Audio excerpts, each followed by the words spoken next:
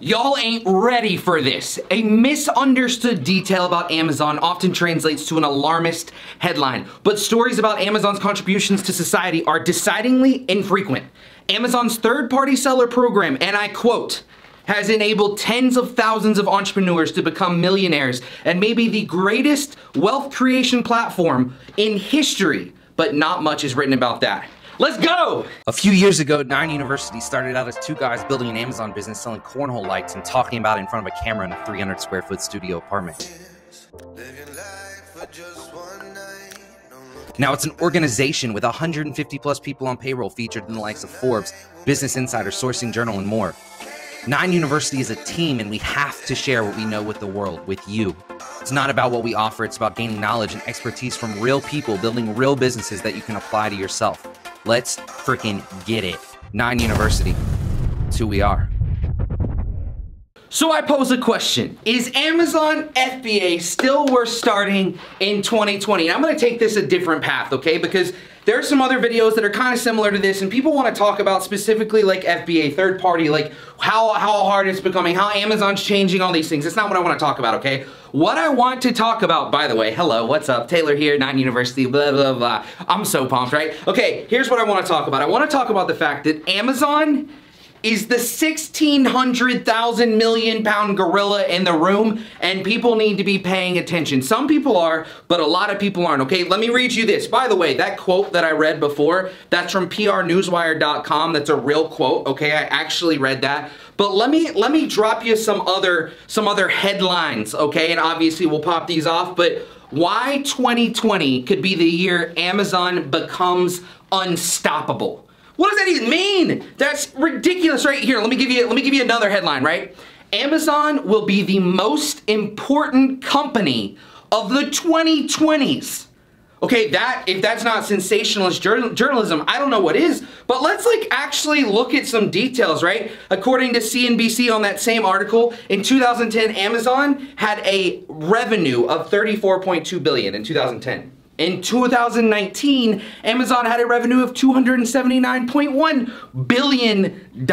Okay, that's about $60,000 off of a 10x over 10 years. That's ridiculous. Let's talk about, I'm gonna go back, okay? But here's what we're gonna keep talking about. Obviously, 2020 has been a roller coaster for everyone, okay? No matter where you're at in the world, no matter what you do, it's been a absolute roller coaster. I mean, do you guys even remember that back at the beginning of 2020, right?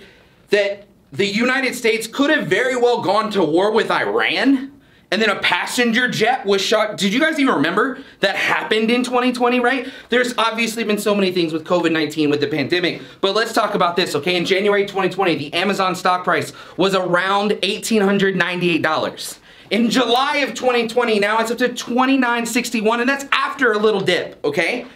That's ridiculous. Still $1,000 in growth in their stock price in the pandemic. Amazon hired 125,000 people during that pandemic plus, and Amazon just came out that said they basically want to keep those 125,000 pandemic workers. They offered to keep them on because the peak of Amazon is just continuing to go up. The demand is continuing to go up as people stay in their homes. You guys know this, right? There was a period of time and probably still a period of time depending on where you live. If you're in California right now, I know everything's shut down, but there are places where you can't go. So people are buying things on Amazon. It is ridiculous, okay? So obviously, like I could give you so many more stats. Maybe we could just like throw up like a whole bunch of articles, right? That are all just about how Amazon is ridiculous. And this is what I want to talk about because so many people come in you know, they come to Nine University, they come to this YouTube channel, they come to me and Kale, they come to any of the people that are on the team and they go, well, you know, it's probably too late to do Amazon, right? Is, is Amazon if even worth doing in 2020, right? Is it still even feasible? Should, should you do this? Should you not do this? Okay.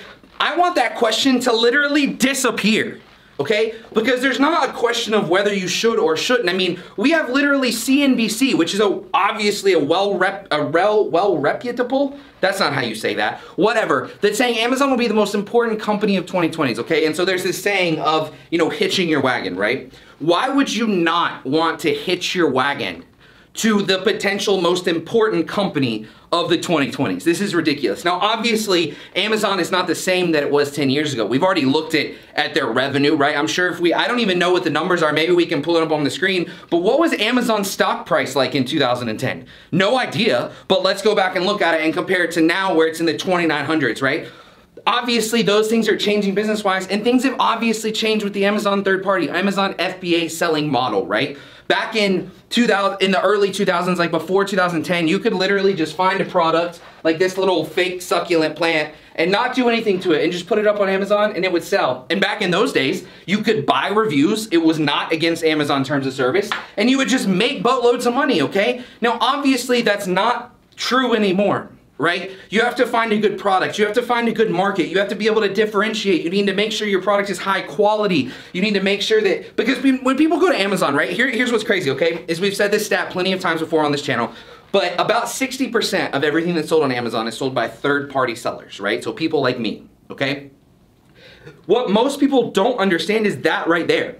They think that Amazon sells everything, and that's not true. And so, but when you're working with a $279.1 billion company, people have certain expectations, right? And so they want to know that whatever the product is, a little chair, I don't even know why this is here, uh, a little chair, right, is gonna be high quality. So you need to make sure it's high quality. You need to have variations. You need to do all of these different things. You need to have incredible photos, a great listing, right? We could talk about all that stuff, and all of that stuff is talked about on other videos on the Nine University channel of how to do a listing, how to find a good product, how to look at variations. So if you aren't subscribed, subscribed, click the subscribe button, click the bell notifications. We post seven days a week. It's ridiculous, but I'm not gonna spend too much time on that, okay? But here's what I wanna talk about. In 2020, is it still worth doing, right? Is it still worth it, right? Now, obviously, just in 2020, because of the roller coaster that this world has been on, okay, the entire world, right? Obviously, Amazon has changed a lot of things, okay? There have been a lot of things that Amazon has done around preventing counterfeit goods, okay? And requiring a bunch of different things around that. There have been things that have basically come out in the past couple days about inventory space, about how Amazon has changed the formula, the IPI, the Inventory Performance Index score. If you know what that is, you know what it is. If you don't know what it is, it's not a big deal for you to know about right this second, okay? But basically, when when we're using FBA, right? I buy a good, so I would buy, you know, a thousand of these little fake succulent plants and I would ship them into Amazon's warehouse, right? And then based on how many you sell, how fast you sell, Amazon gives you a score, okay? And what that score does is Amazon uses that score to determine how many units you can store in their warehouses, right? So can you store a thousand? Can you store 10,000? Can do you have unlimited room? Can you only store 200, right? So Amazon has been making changes around this inventory space because what they're seeing is there's so much demand of people wanting to buy on Amazon. And when I think in my head, right, I, I, feel like I feel like this is a big thing. And I wasn't planning on talking about this, but I feel this is a big thing, right? There are two biggest things that we think you should look at when you're looking to decide on a product to sell on Amazon, right? And it's competition and it is demand. Okay, those are the two biggest things. Now, there are obviously a lot of other things like return on investment, profit margin, all those kinds of things. But competition and demand. And I feel like what a lot of people get caught up on is the competition of, oh, well, there's so many people selling. There's, okay, let me just break this down for you. There's around 2 million active sellers on Amazon, give or take a couple, right? There are over 120 million products for sale on Amazon, okay? And there are million, tens of millions of buyers. I don't have exact numbers. Maybe we can throw up the exact numbers. I don't know them off the top of my head, so I'm not gonna just make up a number. But guys, there's so many buyers, there's so many products that competition honestly is ruled irrelevant unless you're just being dumb and you're selling some super popular product that you shouldn't be selling, right? But what I look at, what Kale and I look at, what we look at in Nine University when we're looking at products is we want to make sure there's a very high demand so that whatever we put up for sale, we know it's going to actually sell so that we can make money, right? And so all Amazon is saying is the demand is just going up and up and up, and it's going to continue to go up. And what a lot of people don't realize, check this out, okay? Check this out. Amazon doesn't just have its retail website selling that. Have you guys ever heard of AWS? Amazon Web Services. Okay, pull up an article. I don't know the exact number. In my head, I think it's like 30, 40, 50% somewhere in there of every single website on the entire planet is run through AWS. So Amazon's got all these backup plans. They're not going anywhere. They're not going to fail anytime soon. They're ridiculous. Ridiculous, okay? Basically, here's what I'm trying to say.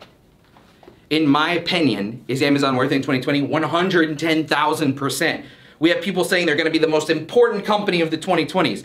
And you have the opportunity through their third party selling system, through Amazon FBA, to hitch your wagon to them and see where you can go. And does it take work? Yes. Does it take time? Yes. Does it take effort? Yes. It is not as simple as just finding a product made somewhere across the world, putting it in a box, putting on Amazon, and making millions. That's not how it works. But if you are willing to put the time, the effort, the work in to hitch your wagon up to potentially the most important company of the 2020s, there's no telling where you can go. That's why we're here. That's why Nine University exists. Guys, keep coming seven days a week. We're always here. We're always going to be here. This is ridiculous. Let's freaking go. Is Amazon worth it in 2020? I think so. Hey guys, thanks so much for watching. If you liked that video, then I definitely know you're gonna like this one too. Yep, and I made it just for you guys, so click, Click right here.